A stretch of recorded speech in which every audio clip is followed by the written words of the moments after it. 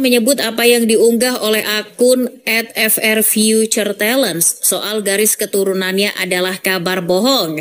Ia bahkan meminta media-media Malaysia untuk berhenti memberitakannya. Begitulah, hingga saat ini Malaysia tampaknya kesulitan mencari pemain keturunan yang mau membela tim Harimau Malaya.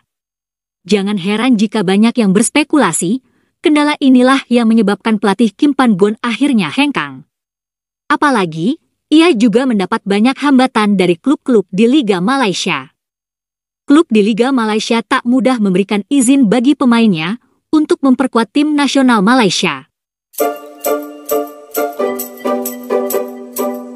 Penggemar sepak bola Malaysia tentu saja bersedih dengan kepergian Kim Pan Gon. Tapi, kaum Melayu palsu di negeri kasino mungkin agak sedikit terhibur dengan kemenangan besar tim sepak bola U19 mereka dalam kejuaraan AFF tahun 2024. Ditopang dengan pemain keturunan Bangladesh, tim Harimau Muda tampil garang saat mengalahkan Brunei.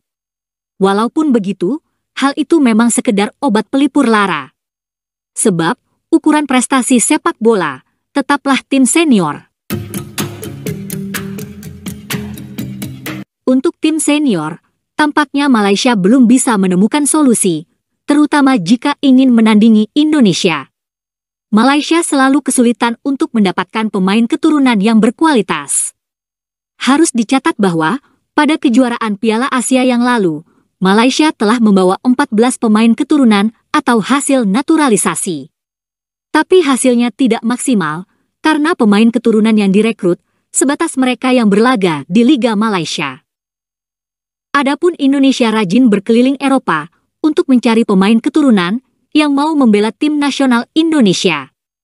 Jadi keinginan pelatih Shin Tae-yong benar-benar dipenuhi oleh pemerintah Indonesia.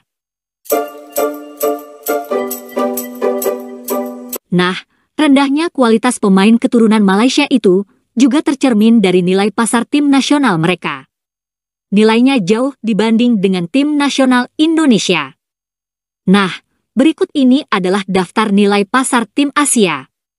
Nilai skuad Jepang mencapai 5,5 triliun rupiah.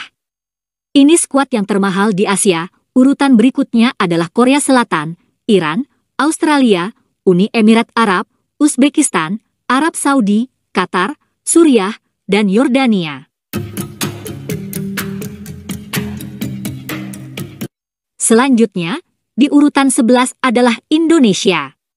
Nilai skuad Indonesia tertinggi di Asia Tenggara, dengan angka sekitar 222 miliar rupiah. Skuad Thailand lumayan juga nilainya, yakni 174 miliar rupiah.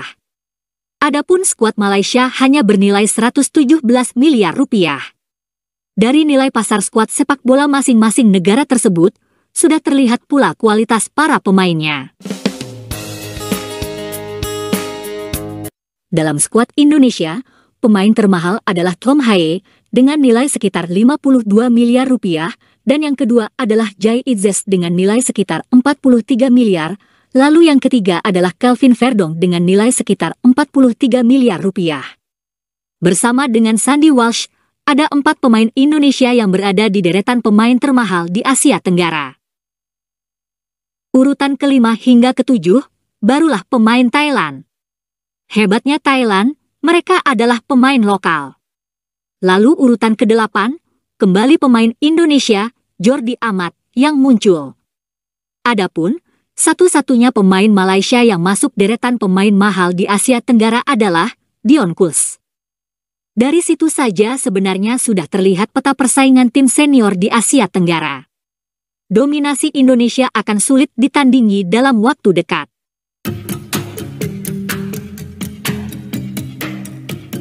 Nah, kami akan mengulas kenapa Indonesia lebih mudah menarik pemain keturunan dibanding dengan Malaysia. Ada banyak sebab. Yang pertama, tentu saja faktor keseriusan pemerintah Indonesia untuk mendatangkan pemain keturunan. Bayangkan saja, Erick Thohir bukan sekedar ketua PSSI, tapi dia juga menjadi Menteri BUMN. Bandingkan dengan posisi Hamidin Amin di Malaysia, yang sekedar menjadi ketua federasi sepak bola. ia tak memiliki jabatan politik yang kuat. Tentu saja, Erick Thohir jauh lebih berpengaruh dan jauh lebih bisa meyakinkan bagi pemain keturunan. Selain itu, pemerintah Indonesia memang mendukung penuh kebijakan merekrut pemain keturunan. Faktor kedua, tentu saja karena negara Indonesia jauh lebih besar dibanding Malaysia. Jumlah penduduk Indonesia lebih besar dan diaspora Indonesia pun lebih banyak.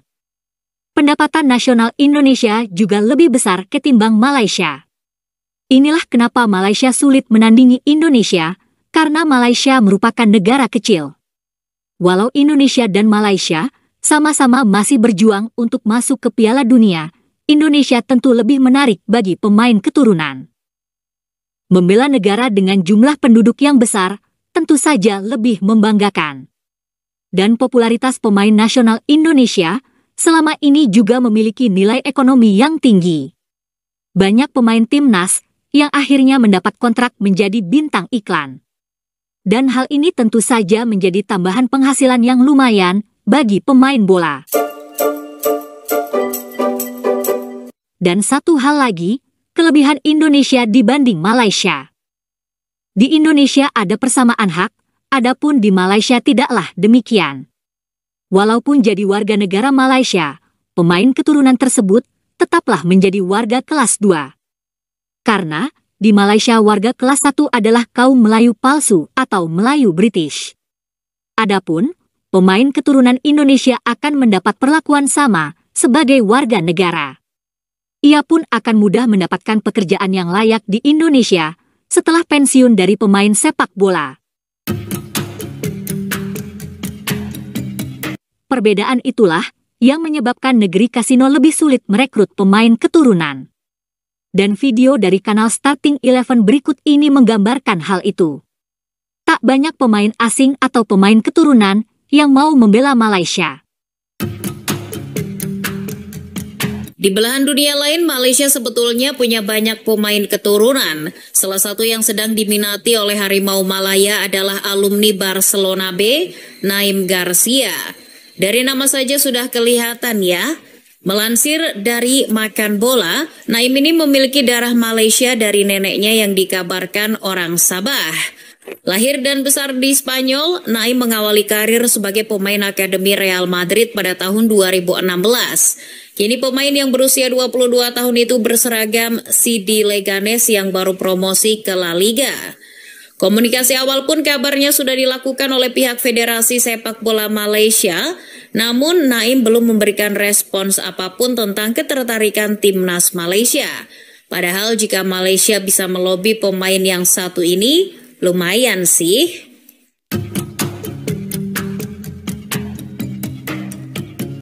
Pemain selanjutnya yang pernah dihubungkan dengan Malaysia adalah wonderkid Manchester United Ethan Waitley.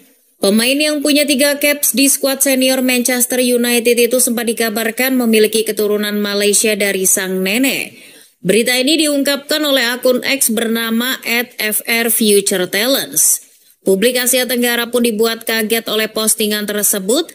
Namun akun fanbase Manchester United cabang Malaysia, theunited.my langsung mencari tahu kebenaran dari berita itu. Mereka bahkan langsung menanyakan soal garis keturunan kepada Ethan langsung.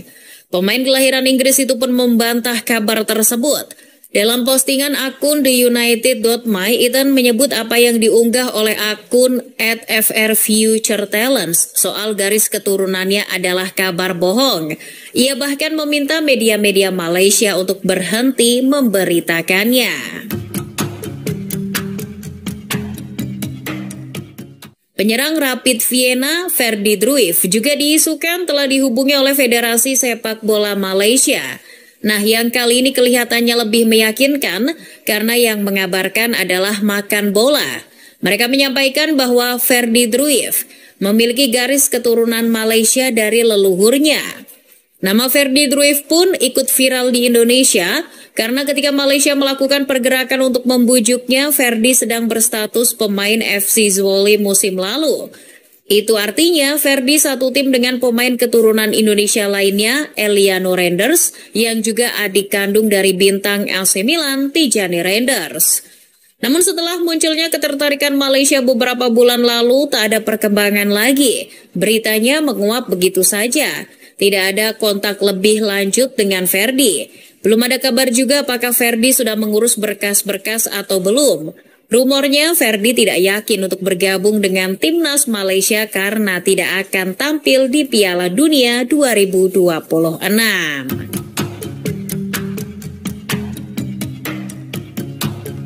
Tak mau kalah dengan Indonesia, Malaysia juga dikabarkan memiliki pemain keturunan yang berkarir di sepak bola Inggris. Pemain itu adalah Josh Brownhill. Berita ini bahkan sudah dikonfirmasi oleh situs Transfermarkt. Di situ dijelaskan bahwa pemain yang kini memperkuat Burnley tersebut dinyatakan layak untuk memperkuat timnas Malaysia karena punya darah Malaysia dari ibunya. Brownhill tercatat sebagai pemain yang lahir dan tumbuh di Inggris, tapi sama sekali belum pernah membela timnas Inggris. Maka dari itu kesempatan Malaysia untuk menggaetnya masih terbuka lebar, tapi itu juga kalau sang pemain bersedia untuk membela timnas Malaysia. Butuh kemampuan negosiasi yang luar biasa untuk menggait pemain grade A sepertinya. Tapi sejauh ini Brownhill belum mau terburu-buru merespons isu ini. Bahkan pemain berusia 28 tahun itu tampaknya tak begitu peduli dengan pemberitaan ini. Itulah sulitnya negeri kasino Malaysia mencari pemain keturunan yang berkualitas. Terima kasih sudah menonton sajian kami, sampai jumpa lagi.